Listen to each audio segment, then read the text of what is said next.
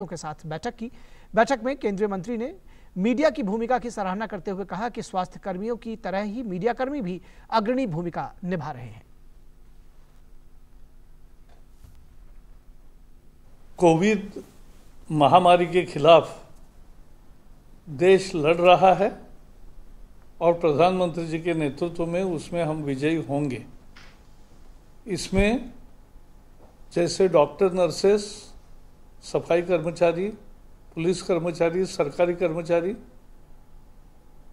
bank के कर्मचारी, वैसे ही मीडिया के कर्मी जो है, वो भी एक तरह से फ्रंट लाइन